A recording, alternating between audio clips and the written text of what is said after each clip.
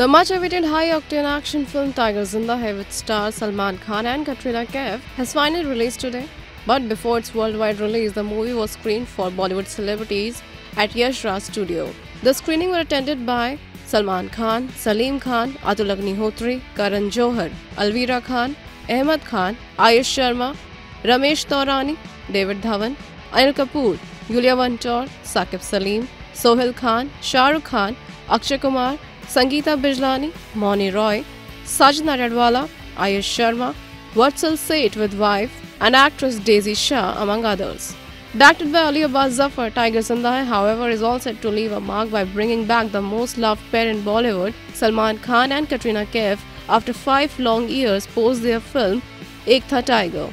The storyline sees an Indian raw agent, Salman Khan, on a mission to rescue 25 nurses kept as hostage, while Katrina Kaif, the Pakistani spy,